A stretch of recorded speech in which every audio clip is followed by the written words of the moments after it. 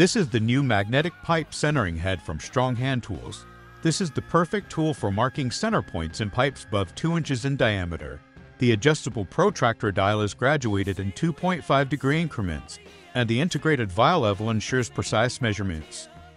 Additionally, strong base magnets allow this tool to effortlessly secure itself at any desired angle on steel pipes. A magnet inside the pinhole steadily secures your pin in place. This tool is machined from top-tier anodized aluminum material.